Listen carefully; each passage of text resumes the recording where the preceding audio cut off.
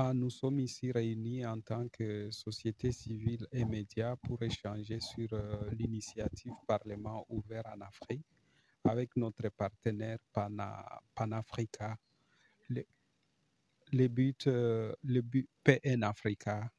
Le but, euh, le but de cet atelier, en, effet, c'est de réfléchir euh, pour mettre en place euh, un réseau de suivi des parlements ici au Sénégal, un réseau qui réunit la, société civile, les médias ou journalistes qui travaillent avec les parlements, le tout dans un objectif ultime euh, de rendre l'accès à l'information au niveau du Parlement plus effectif.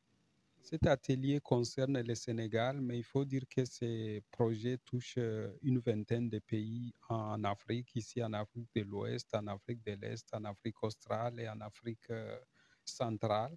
Nous travaillons donc avec nos partenaires de PEN Africa pour que cette initiative soit également opérationnelle ici chez nous au Sénégal.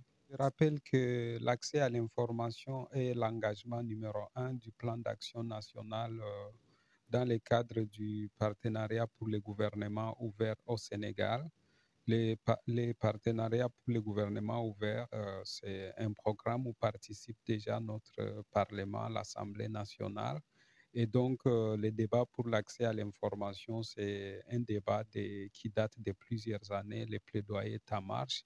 J'ai saisi d'ailleurs la fenêtre pour en appeler à l'adoption rapide d'une loi d'accès à l'information cette loi qui devrait permettre finalement aux institutions publiques et au secteur privé en charge d'un service public euh, de rendre les- disponibles les informations, que ce soit pour les médias ou pour les citoyens sans difficulté. Mais cette initiative d'aujourd'hui concerne principalement le Parlement. Le Parlement, c'est l'organe législatif, euh, c'est l'organe qui vote les lois, mais c'est aussi l'organe euh, qui est chargé du contrôle euh, de la mise en œuvre du programme de l'État. Et dans ce cadre-là, l'accès à l'information, l'ouverture à ce niveau-là facilite déjà beaucoup de choses.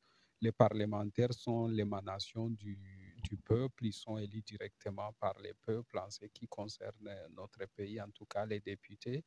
Et il est important que les citoyens puissent accéder très facilement aux informations détenues par euh, les parlements, non seulement sous forme de reporting sur leurs événements comme la presse le fait, mais en tout cas une, euh, une divulgation des informations dans leur totalité sur leur travail, euh, sur euh, les textes qui les régissent, sur leur fonctionnement, sur les rémunérations, sur les avantages, sur les contrôles qui sont initiés au niveau du gouvernement, mais parfois aussi sur les défis et difficultés que les parlementaires eux-mêmes euh, rencontrent. Bref, cela facilite que les parlements soient, appartiennent au peuple, aux citoyens, et que la distance entre les parlementaires et les citoyens soit suffisamment réduite. Euh, Voilà pourquoi nous, nous, adhérons, nous voulons lancer cette initiative pour les parlements ouverts dans notre pays.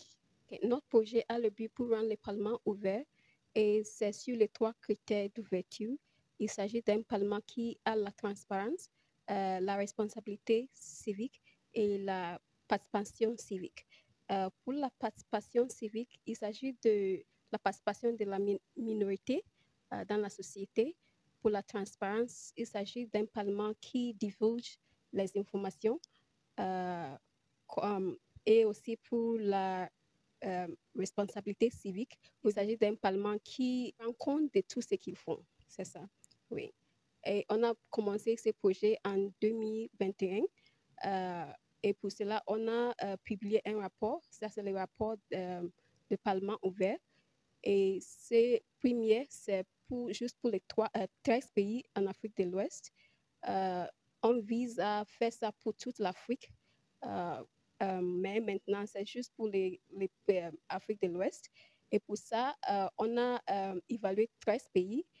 Euh, le Sénégal a devenu le neuvième euh, en Afrique de l'Ouest.